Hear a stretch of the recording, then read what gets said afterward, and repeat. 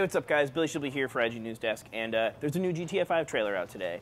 Um, obviously, taking a look at the trailer, we get some details on a few things in the game, namely the three protagonists that uh, we know the game is going to have Michael, Trevor, and Franklin. Uh, you get a sense for the tone that Rockstar is going for with this game, and it seems a little bit goofier than GTA 4. Uh, a lot of people criticize GTA 4 for the serious tone.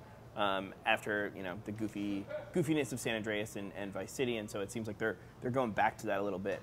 There's also a brief look at some of the different vehicles you'll be able to use in the game. There are dirt bike races, and there's also a shot of a jet blowing up a helicopter, so presumably you'll be able to fly jets. Um, there's also a shot indicating you'll be able to drive a Jeep out of a plane, which sounds pretty awesome.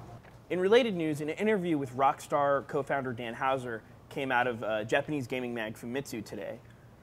In the interview, he explains why GTA 5 is not coming to next-gen consoles. He said that the studio struggled with new hardware when they were developing GTA 4, and at this point, they know the console so well, they want to stick with it.